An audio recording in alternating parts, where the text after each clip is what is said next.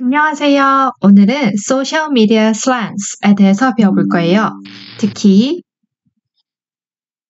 A와 B로 시작하는 슬랭들에 대해 배워볼 겁니다. 그러면 시작하기 앞서 소셜 미디어 slangs가 뭘까요?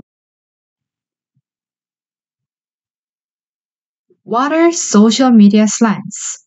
여기서 소셜 미디어가 뭔지부터 알아야 되는데요. 소셜 미디어는 우리가 흔히 말하는 SNS 대신에 사용하는 표현이에요. 영미권 국가 사람들은 일상에서 SNS라는 말을 사용하지 않습니다. 영미권 국가의 일상생활권에서는 SNS가 아닌 소셜미디어라는 표현을 쓰고요. 이들에게 SNS라고 언급하면 우리가 보통 SMS, 문자 메시지의 뜻을 가진 SMS와 연관지어서 생각한다고 합니다. 이렇다 보니까 SNS라고 하면 못 알아듣는 경우도 있을 수 있으니 SNS 대신에 소셜미디어라고 합니다. slangs. slangs는 슬랭의 복수형이죠. s를 붙인 형태인데요. 슬랭, 즉 속어는 국어사전에 따르면 통속적으로 쓰이는 점잖지 못한 말입니다. 쉽게 말해서 일상에서 쓰는 유행어, 신조어, 줄임말이라고 할 수 있겠네요. 정리해보자면 소셜미디어 슬랭스는 우리가 흔히 말하는 SNS에서 사용하는 유행어, 신조어, 줄임말 등을 일컫는다고 할 수 있습니다.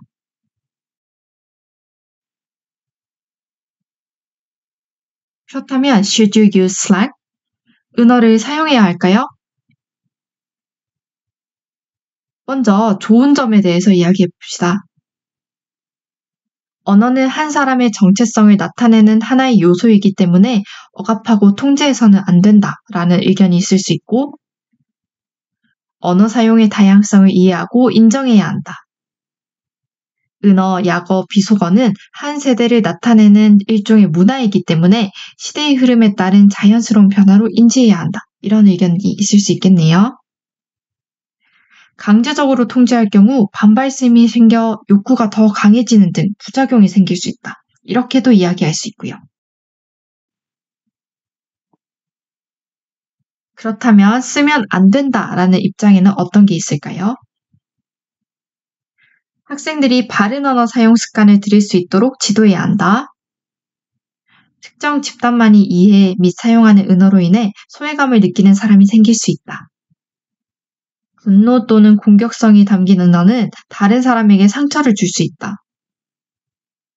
아름다운 우리말을 사용할 수 있도록 지도해야 한다. 이러한 의견이 있을 수 있겠죠?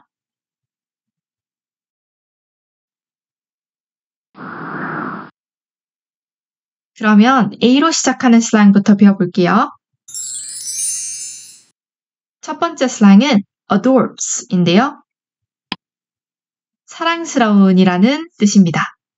혹시 사랑스러운이라는 형용사 알고 있나요? adorable입니다. 원래 사랑스러운을 나타내는 형용사는 adorable인데요. 이거를 adors라고 쓰는 거예요. 예를 들어서 She shared an adorable picture of her kids on an Instagram. 이런 식으로 쓰는 거예요. 그녀는 사랑스러운 사진을 공유했다. 무슨 사진이냐면 그녀의 아이들 사진이네요. on her Instagram, 인스타그램에.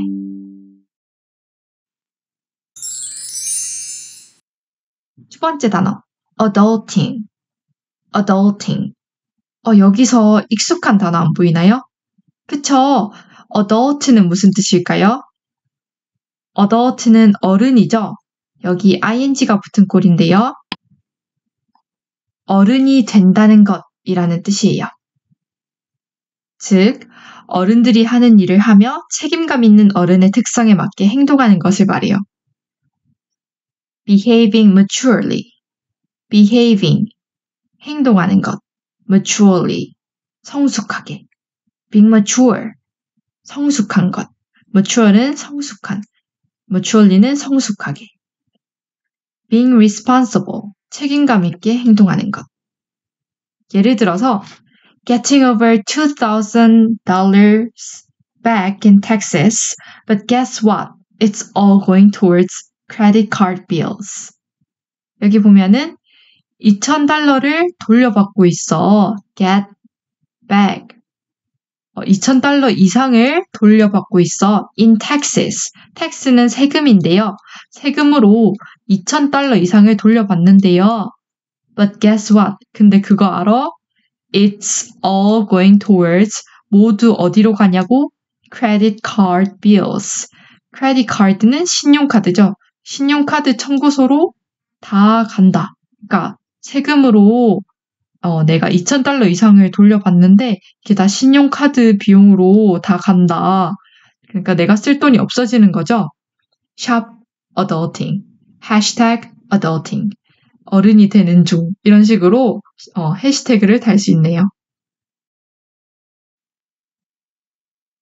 다음 슬랭은 AFK인데요. 이것은 무엇의 줄임말일까요? 뜻은 자리 비움, 키보드에서 잠시 떠나 있음 이런 뜻이에요. 전체 형태는 away from keyboard. 그래서 A, F, K인 겁니다. 키보드에서 멀리 떨어진. This internet slang term will help others know you aren't just ignoring them. 이 인터넷 슬랭 용어는 도와줄 거래요. 다른 사람들이 알 수 있도록. 너가 그냥 그들을 무시하고 있다고 어, 생각하지 않도록 방지해주는 그런 용어인데요. 예시를 볼게요. Hey babe. 안녕. How are you? 오늘 좀 어때? I'll be right back. 여기서 이건 나중에 배울 건데요. Be right. Be right. back. 곧 돌아올게. 바로 돌아올게. 란 뜻이에요. You have a good day? 너 오늘 좋은 하루 보냈어? You there? 너 거기 있어? Are you mad at me? 나한테 화났어?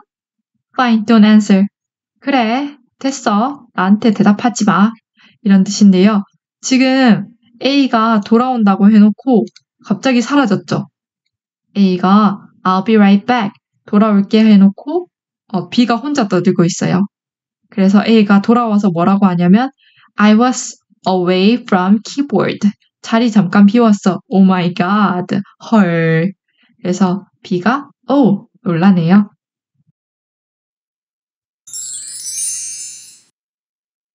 AMA는 뭐의 줄임말일까요? 우리말로는 무물이라고 줄이기도 해요. 무엇이든 물어보세요. 뭐든 물어봐. 무물. 특정 분야의 유명인이 인터넷에서 네티즌들에게 질문을 받을 때 붙이는 말인데요. 전체 형태는 ask me anything. 이제 알겠죠? AMA. An AMA is a type of informal interview. 어, 비공식적인 인터뷰의 한 형태인데요. In which the interviewee, 인터뷰 받는 사람이 is open to questions. 질문을 다 받을 수 있는 거예요. From the public. 약간 공공적으로, 공적으로. Ask me anything. I'll try and reply to one and all. 어, 모두 답할 수 있게 할 테니까 나한테 아무거나 다 물어봐. 이런 뜻이죠.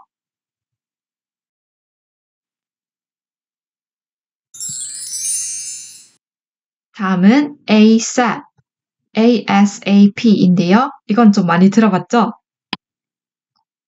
가능한 빨리라는 뜻이고 전체 형태는 as soon as possible. as soon as possible. 가능한 곧 빨리, 가능한 빨리란 뜻이죠. 예를 들어서 when do you need it? 언제 그거 필요해? ASAP. 가능한 빨리. ASAP.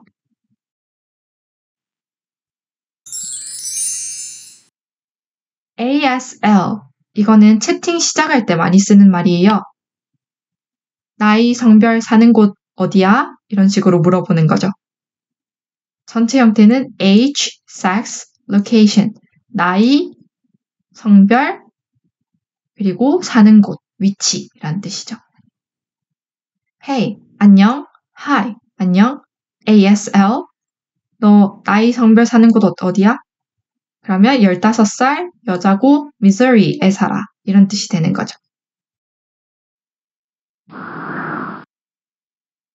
자, 이제 B로 시작하는 슬랑으로 넘어갈 거예요.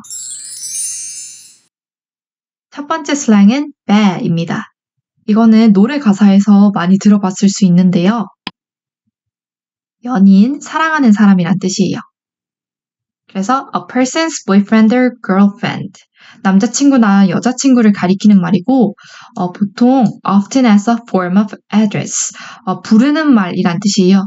부르는 말의 한 형태로 쓰이기도 합니다. The term 그 용, 이 용어는요. originated 원래 어디서 유래했냐면 as an abbreviation of the word baby or babe.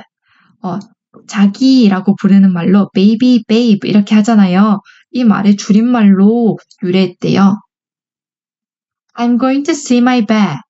어, 네, 자기 보러 갈 거야. 이런 뜻이죠.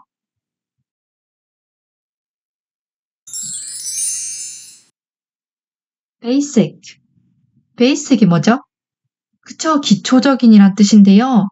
어, 그러면 사람 보고 she is so basic 이렇게 하면은 좋은 뜻일까요? 안 좋은 뜻일까요?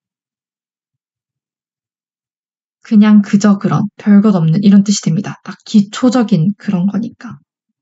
그래서 뜻을 보면요. unoriginal 그러니까 독창적인이란 뜻인데요. original이 독창적이지 않은 unexceptional exception 여기서 exception은 예외란 뜻이죠. 예외적이지 않은 거니까 그냥 그저 그런 거죠. and mainstream, 주류인 거죠. 그냥 주류, 다 그저 그런, 별것 없는 그런 뜻이에요. Only interested in things mainstream, popular and trending. 주류이고 인기 많고 유행하는 것들에만 관심을 갖는 그저 그런 딱 기초적인 그런 뜻이에요. 예시가 두 개나 있네요. I tried to get to know him, get to know, 알게 되다. 내가 그를 좀 알게 되려고 노력했는데, but after I spent 10 minutes with him, 그와 10분을 보내고 나니까 I realized, 내가 깨달았어. He was too basic for me. 어, 나에게 있어서는 그 남자애가, 그 남자가 너무 그저 그랬던 것 같아, 나한테. To waste time on. 내가 시간을 보내기에는 내가 시간 낭비하기에는 너무 보잘 것 없는 애였어. 이런 뜻이죠. 그 다음에 두 번째 예시. Is there anything unique or special about her? 어, 그녀에 관해서 좀 특별한 게 있어? 독특하고 특별한 게 있어? I have a feeling, 느낌이 있는데 she's pretty basic. 그래서 pretty는 예쁜이 아니고 꽤란 뜻이죠. 걔 꽤 좀 그저 그런 별것 없는 애인 것 같다는 느낌이 있는데 이런 뜻이네요.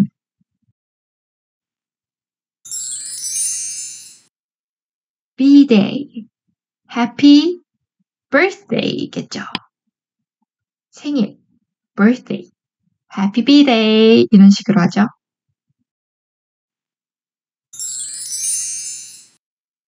이거는 있는 그대로 읽으면 그렇죠. before이 되죠. He took off his hat before entering the room. take off는 뭐죠? 네, take off는 벗다인데요. 옷이나 모자를 쓰던 걸 벗다란 뜻이고 과거형으로 took off. 모자를 벗었대요. Before 뭐 하기 전에 entering the room. 방에 들어가기 전에.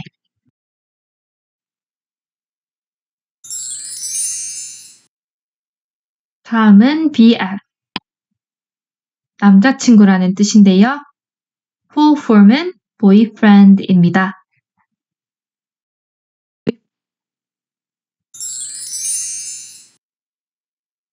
다음 BFF는 영원한 절친, best friends forever 이런 거예요. 그래서 hashtag BFF 우리 완전 절친이야 이런 거 많이 올려요. boomer, boomer은 우리 말에서 꼰대라는 말이랑 비슷해요. 베이비 부머 세대를 가리키는 게 boomer인데요. 뜻은 baby boomer, an elderly person. elderly는 나이 든 사람이란 뜻이에요.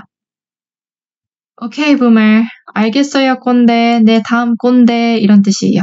우리말로 순하게 옮기면 어른들은 몰라요. 그러니까 그만해요. 이런 정도가 되겠죠. 좀 더 직설적으로 옮기면 고지식한 소리 집어치우세요. 듣기 싫어요. 정도가 될 겁니다.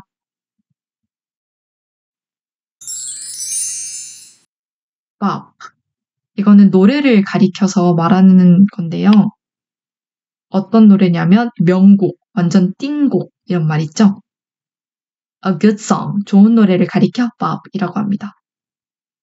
That new Dua Lipa song is a bop. 두아리파는 가수 이름이죠. 그 새로운 두아리파 노래 완전 띵곡인데 이런 뜻이죠.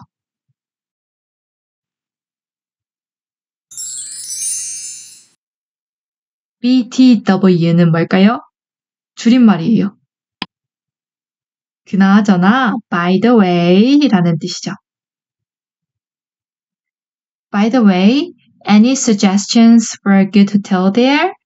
그나저나 좀 좋은 제안 있어? 뭐에 대한 제안이냐면 어, 좋은 호텔. 거기 좋은 호텔에 대한 제안 있는 사람 있어?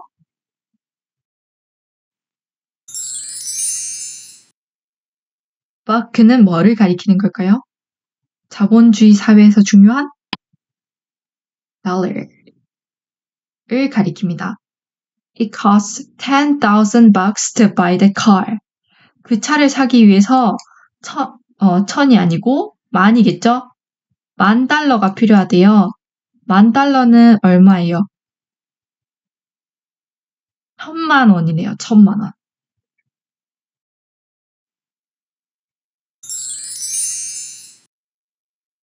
Bummer 이것도 많이 쓰죠? 아, bummer 이렇게 많이 쓰는데 어쩔 때 쓰는 걸까요? 실망스러운 일, 그렇죠. 제 목소리에서 그게 느껴졌을까요? Any unpleasant or disappointing experience. 즐겁지 않은 또는 실망스러운 경험을 가리킵니다. Looks like we're having a test tomorrow. 내일 우리 시험 있는 것 같은데. bummer, 실망스럽다. 아, 어떡해. 이런 뜻이죠. busted. 이것도 꽤 많이 써요. 딱 걸린 이란 뜻인데요. caught. 딱 하다가 걸렸다. 예시를 볼게요. I got busted by my boyfriend last night. 지난밤 내 남자친구한테 딱 걸렸어. He rode up to his best friend's house and found me in there. 어, 그, 그 남자친구가 절친 집에 가서 나를 거기서 찾았지 뭐야. 두 번째, don't speed. 어, 과속하지 마세요. or you'll get busted. 속도 내지 마세요. 아니면 저한테 걸릴 거예요. 이런 뜻이죠.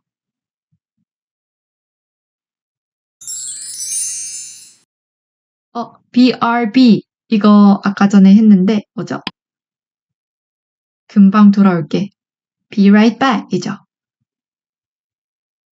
Hi Josh, do you want to go online in a second? 여기서 second은 second를 가리킵니다. second는 무슨 뜻이죠? 네, 두 번째이란 뜻도 있지만 우리가 시간에서 초를 나타내기도 하죠. 그러면 in a second는 어, 잠깐 이런 뜻이에요. 조시 안녕. 너 잠깐 온라인 들어올래? Yeah, sure. But be right back. 어, 근데 잠시만 곧 돌아올게. Going to get some food. 음식 좀 가져올게. 오케이, 알겠어. 데이브가 8시간 기다렸어요. 8 hours later, I'm back. 나 돌아왔어. 이런 식으로 하는 거죠.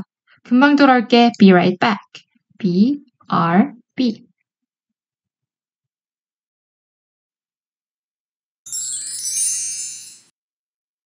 이거는 알 거예요. Hey bro, hey sis. 이런 식으로 친근하게 부를 때 쓰죠. 형제 자매란 뜻도 있지만 친한 친구를 부르는 말이기도 해요. brother, sister 이런 걸 의미하기도 하고 아니면은 a close friend 친구를 말하기도 하고 진짜 형제를 말하기도 해요. Matt is my bro. Matt는 내 남자 형제이다. 진짜 가족일 수도 있지만 친구일 수도 있다는 거.